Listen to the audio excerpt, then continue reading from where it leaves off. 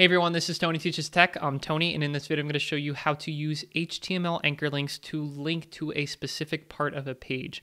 Now, this could be the same page that you're currently on, linking to a specific part of that page, or it could be linking to a specific part of an entirely different page. Like I said, we're going to be doing this with something called anchor link. So let's go ahead and hop on into the tutorial here. Okay, uh, let me just show you what we're talking about here. So I have this web uh, blog post on my website, tonyteachestech.com slash WordPress security.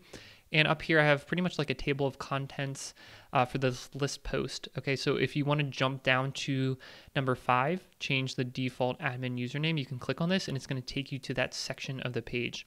Now, if you noticed, uh, the URL of this changed.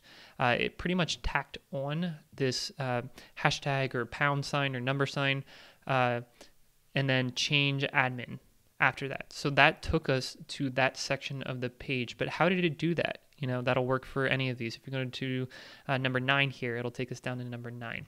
Um, let me show you how this is done. Let's go to the, go to my WordPress admin dashboard and I'm going to go to that actual blog post. So let me pull that up real quick for you. Okay, here we go. 10 easy ways to make WordPress secure. So we'll edit that. Um, here is our table of contents. And if we look at the underlying HTML code for that by clicking on this text over here, you'll see that these list items are composed of links as you would expect. And the links themselves contain an href with a value of pound sign, dollar sign, and then some name. Okay, so you can see that pretty consistently here. You have the this column of pound signs and then the the name.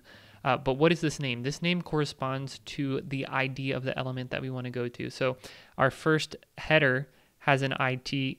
Our first header has an ID of plugins, and that corresponds to this pound sign plugins. Okay, uh, the second header has an ID of hide login URL with dashes.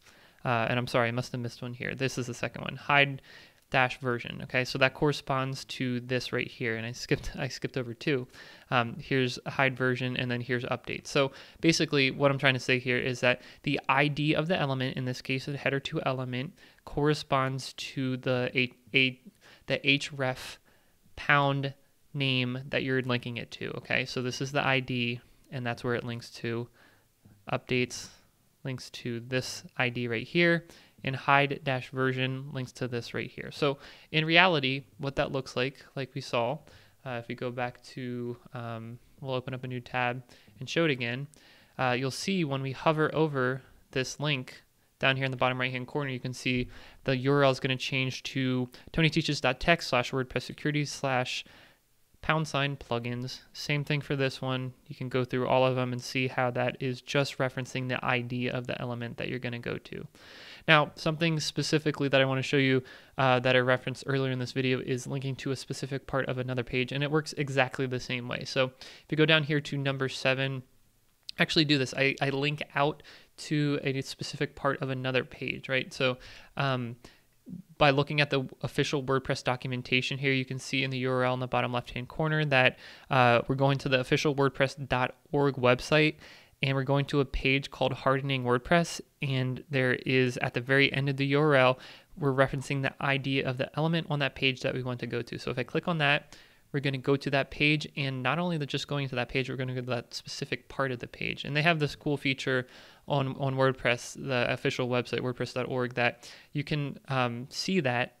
You can link to the specific page because they make it visible to the users without looking at the underlying html so um, what i did when i came here was i i copied the link address for this specific part of the page and uh, put it back over here as a link on my own page, on my own WordPress website.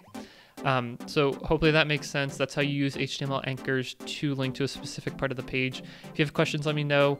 Subscribe to this channel for more videos like this from me in the future. And if you do, I'll see you in the next one.